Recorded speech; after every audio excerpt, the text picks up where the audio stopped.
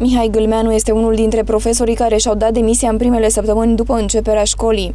Are 46 de ani și de 4 ani predă o disciplină tehnică.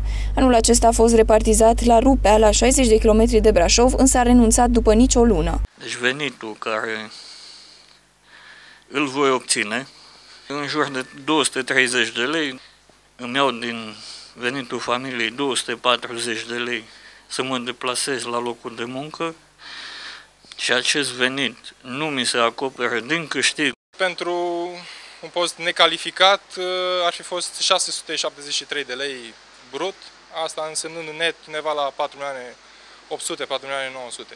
Numai la liceul teoretic Codlea se caută cel puțin 5 profesori pentru diferite materii, toți pentru secția cu predare în limba germană. Acoperim orele cu profesori de la secția română deocamdată. Solicitanții au fost din mediul urban, iar uh, posturile au fost în mediul rural la distanțe mai mari. O altă cauză ar fi legată că unii și-au găsit un job în altă parte.